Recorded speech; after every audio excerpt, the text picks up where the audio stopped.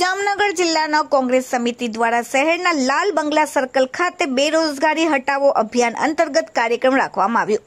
આ કાર્યક્રમમાં શિક્ષિત બેરોજગારો દ્વારા ભજીયાની લારી સાથે નાટક રજૂ કરવામાં આવેલ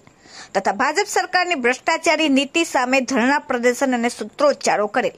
આ કાર્યક્રમમાં જામનગર જિલ્લા કોંગ્રેસ સમિતિના આદરણીય અધ્યક્ષ શ્રી જીવણભાઈ કુંભારવાડિયા સાહેબ, જામનગર શહેર કોંગ્રેસ સમિતિના આદરણીય અધ્યક્ષ શ્રી દિગુભા જાડેજા, આદરણીય ધારાસભ્ય શ્રી વિક્રમભાઈ માડમ, કિસાન સેલના વાઇસ ચેરમેન શ્રી કર્ણદેવસિંહ જાડેજા, કોંગ્રેસ સમિતિના મંત્રી શ્રી યુસુફભાઈ ખફી, કોંગ્રેસ સમિતિના મહિલા મંત્રી શ્રી સહારાબેન મકવાણા તથા જામનગર જિલ્લા કોંગ્રેસ સમિતિના મહામંત્રી સંગઠન શ્રી કેપી બથવાર, યુથ કોંગ્રેસ સમિતિના પ્રમુખ શ્રી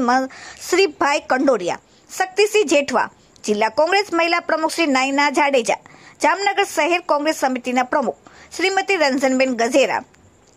નેતા અલ્તાફ ખફી તથા જૈનબેન ખફી આ સાથે જામનગર જિલ્લા પંચાયતના પૂર્વ વિરોધ પક્ષના નેતા કાસમભાઈ ખફી જામનગર તાલુકા કોંગ્રેસ સમિતિના પ્રમુખ શ્રી ઉપેન્દ્રસિંહ જાડેજા, ઓબીસી ડિપાર્ટમેન્ટના પ્રમુખ કલ્પેશભાઈ હડિયલ જીગર રાવલ, ચિરાગભાઈ ઝીંઝુવાડિયા કોંગ્રેસ સમિતિના મહામંત્રી સાજિદભાઈ બ્લોચ, પાર્થભાઈ પટેલ રામદેવભાઈ ઓડેદરા ભૂપતભાઈ ધમસરિયા તથા અબડારભાઈ ગજિયા, ભરતભાઈ વાળા, અલ્તાફ ખીરા, દેવજીભાઈ ગડજારિયા તથા સિક્કા શહેર કોંગ્રેસ સમિતિના પ્રમુખ